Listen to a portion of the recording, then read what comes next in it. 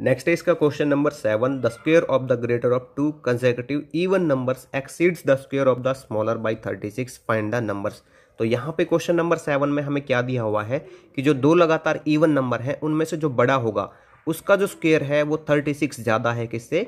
Smaller के square से। तो हमें वो नंबर बताने हैं कि वो कौन कौन से नंबर होंगे। ठीक है? तो यहाँ पे देखिए हम लेट कर लेते हैं पहले इन दो लगातार जो इवन नंबर हैं, इनको। ठीक है?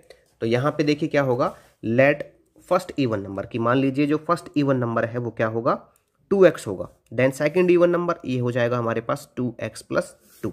According to question क्या कहा है यहाँ पे इसने? कि जो ग्रेटर नंबर होगा यहाँ से, इन इवन नंबर में जो ग्रेटर नंबर होगा, उसका जो स्क्वेयर है, वो क्या होगा? सेकंड के मीन्स स्मॉलर के स्क्वेयर से थर्टी सिक्स ज़्यादा होगा। ठीक है? तो ये टू एक्स प्लस टू, इसका जो स्क्वेयर है, वो क्या होगा? स्मॉलर के स्क्वेयर से थर्टी सिक्स ज़्यादा होगा। इसके स्क्वेयर से थर्टी सिक्स ज़्यादा होगा। तो इसमें ऐड करने के बजाय हम इसको, इसमें ऐड करेंगे जिससे कि हम इक्वल कर सकें इसको। तो यहाँ पे इसको ओपन कर लेते हैं। ए प्लस बी का होल स्क्वेयर बन गया तो यहाँ पे a square means two x का स्क्वेयर जो बनेगा, वो क्या बनेगा? फोर एक्स स्क्वेयर ठीक है? एंड यहाँ पे बी का स्क्वेयर ये बनेगा four and two a b two two जा फोर टू जा एट एक्स ठीक है? एंड यहाँ पे ये हो जाएगा four x square and plus thirty six तो फोर एक्स स्क्वेयर से four x square cancel out हो जाएगा। यहाँ पे बचा eight x plus four it is equal to thirty six ठीक है तो eight x it is equal to क्या बचेगा यहाँ से?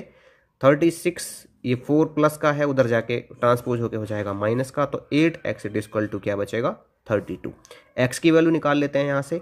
अभी क्या है ये? मल्टीप्लाई में है, उधर जाके हो जाएगा ट्रांसपोज होके डिवाइड तो एट फोर जा थर्टी टू तो एक्स की वैल्यू आ गई हमारे पास यहाँ पे फोर ठीक है, मुझे क्या चाहिए? ये इवन नंबर चाहिए। तो ये क्या है? टू एक्स है। क्या है ये? टू एक्स तो टू इंटू फोर तो फ़र्स्ट नंबर होगा हमारे पास क्या? एट होगा। एंड सेकेंड नंबर है टू एक्स प्लस टू ठीक है? टू एक्स की वैल्यू आई eight eight plus two ten तो हमारे पास एट और जो टेन है, वो लगातार इवन नंबर होंगे। ठीक है ना?